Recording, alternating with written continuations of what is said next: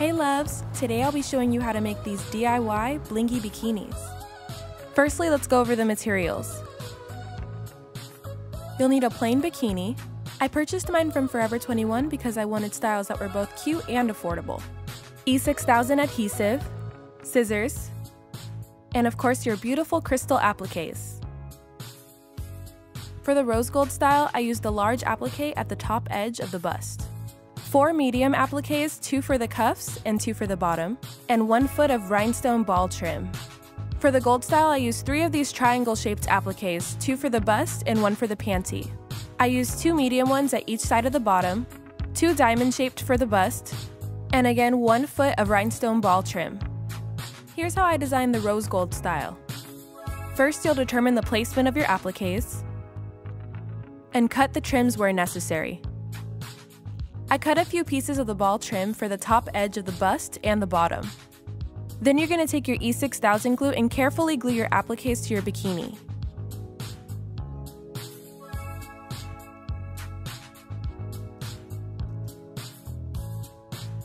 Emphasis on the word carefully because I've definitely made mistakes with glue before.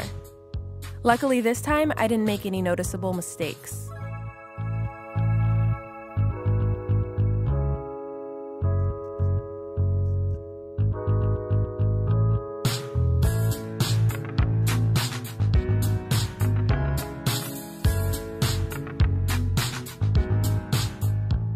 Now I'll show you how I designed the nude and gold style. It's basically the same exact thing, you're just going to repeat the same steps, organize your appliques,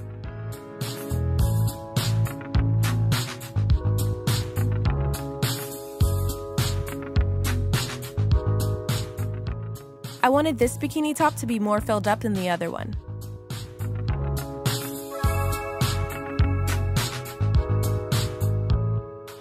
I used more appliques and rhinestone ball trim on the bust. I also added a bit of rhinestone trim to the straps.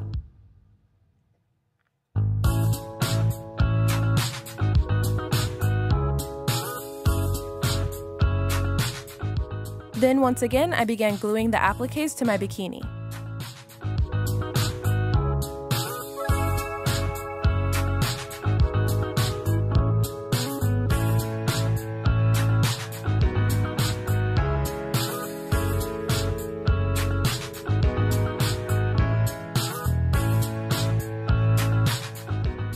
And now you're done with this super easy and glamorous DIY.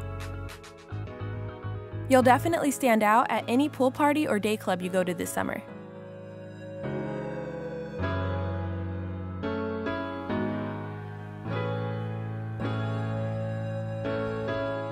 Thank you guys so much for watching and please make sure to like, comment, and subscribe for more videos like this. You can watch my previous video using the link shown, or you can stay up to date on Instagram, Twitter, and Snapchat.